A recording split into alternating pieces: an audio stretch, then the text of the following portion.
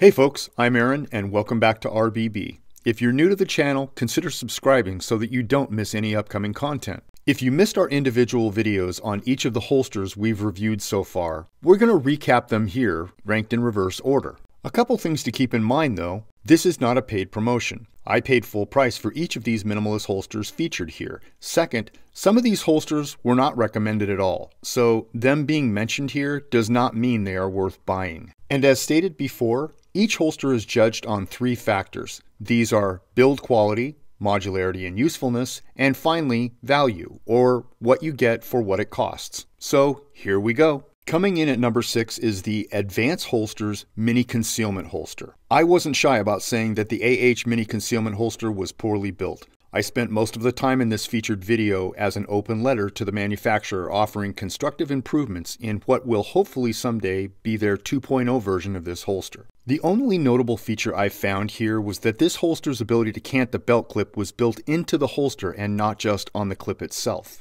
Next up at number 5 is where I placed the Q Series Stealth holster. This was another holster that I could not recommend due to poor execution of the build. The contact points on the Q-Series stealth holster just didn't grip the holster with enough bite to hold onto the gun in all directions. However, there were two notable features on the Q-Series stealth. First was the metal belt clip, which was one of the best on any holster reviewed and it did allow for slight height adjustment. Also, this holster, and most of the rest to be mentioned, came with cordage to use as a lanyard. However, in this holster the lanyard and belt clip could not be used at the same time. Rounding out the bottom three, and this is where debates may start to occur.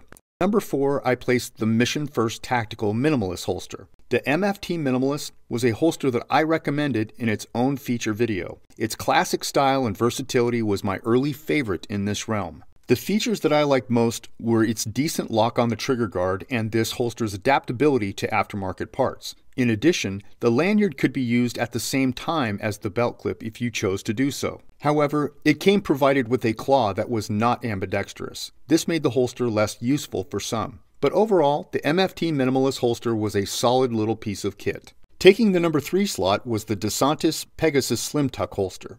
Now, I could be criticized for not placing this holster higher on the list. The Slim Tuk was the only full wraparound minimalist holster on the list. It performed very well during testing and was even useful with just cordage. The belt clip was unique to this holster, as it has a static cog system that held it in place when canted. A major downside was that if you needed to switch the hardware over to the other side, there were quite a few small parts that needed to be transitioned in order to make it work. Overall, I did recommend the DeSantis Pegasus Slim Tuk as a minimalist holster. Heading toward the top slot, in number 2 was the Raven Concealment Vanguard 2 holster. The Vanguard 2 is solid, some would argue it deserves the top slot, and they might be right, depending upon who's buying the beers. This is the smallest minimalist holster in the pile, and yet is more modular than most. The Vanguard 2 holster gets sold in three different versions, from straight trigger guard on a lanyard to full-blown minimalist.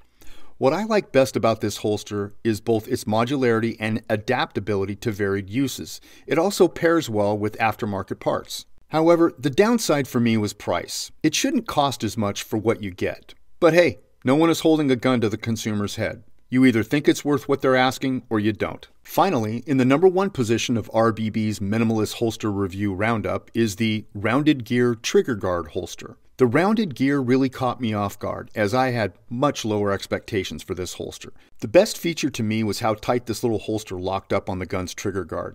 I never once was concerned that the gun might inadvertently become detached from the holster. As mentioned during the review, having a holster with such a tight lockup requires that you draw the gun like you mean it, which is just fine by me. As well, for the price, this holster offered more features and possibilities than any other minimalist reviewed so far.